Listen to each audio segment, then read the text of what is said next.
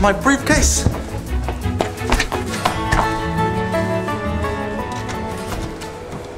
I realize I've been uh, quite late for work lately, but I've been writing a Michael, book, that's right? really none of our concern. You've shown us that you're not reliable enough, and we're gonna have to let you go.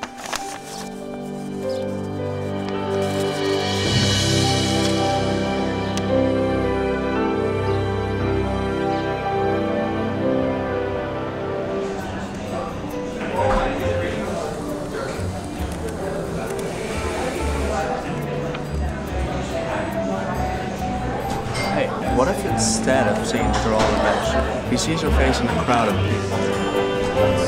Not bad.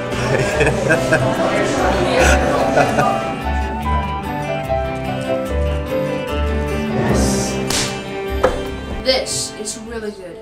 You wrote this? Yes. No co-writers? No. So tell us, Michael, what inspired you to write such a magnificent book? Well, Devin, this book reflects off my personal life, actually. What the hell is your problem? All you care about is you.